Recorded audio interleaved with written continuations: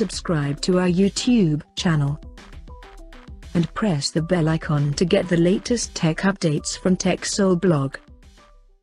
Honor has launched its new affordable X series phone in Saudi Arabia called Honor X6. Now going through the specifications, the Honor X6 supports a 6.5-inch HD Plus display with a tall 20 to 9 aspect ratio and it has a water drop notch at the top center that carries an 5-megapixel selfie camera with f2.2 aperture. The rear panel of the phone houses a triple camera setup in a squarish module at the top left corner that includes a 50 megapixel main camera with f1.8 aperture along with the 2 megapixel macro and 2 megapixel depth sensor with f2.4 aperture. Under the hood, the Honor X6 comes powered by MediaTek Helio G25 chipset paired with PowerVR GE8320 GPU. In terms of storage, the smartphone packs with 4GB of RAM and 64 or 128GB of onboard storage, which is further expandable up to 1TB via microSD card slot.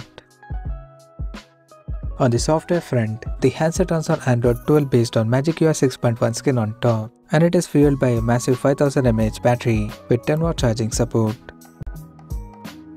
Additionally, the smartphone features a side-mounted fingerprint sensor for biometric authentication.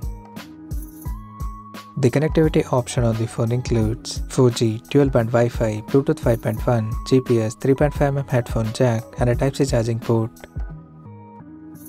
The physical dimensions of the smartphone measures at 163.8 by 75.36 by 8.75 mm and it weighs around 190 grams. Now let's take a look at the pricing details of the smartphone. The Honor X6 has been priced in Saudi Arabia at 550 Saudi Riyals for the base variant. And it will be available in the country in midnight black, titanium silver and ocean blue color options.